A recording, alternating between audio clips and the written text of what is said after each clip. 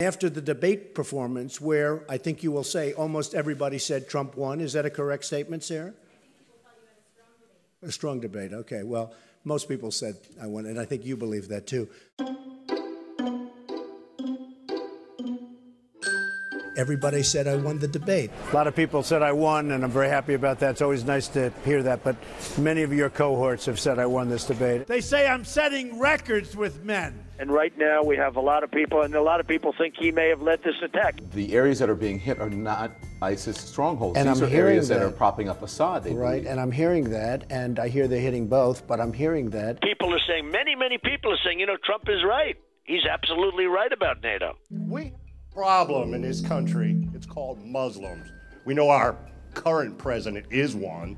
Right. You know he's not even an American. We're going to be looking at a lot of different things. And, you know, a lot of people are saying that, and a lot of people are saying that bad things are happening out there. There are a lot of people that think maybe he doesn't want to get it. A lot of people think maybe he doesn't want to know about it. I would listen to the generals, but I would, I'm hearing numbers of 20 to 30,000. A lot of people are saying they'll have the highest ratings.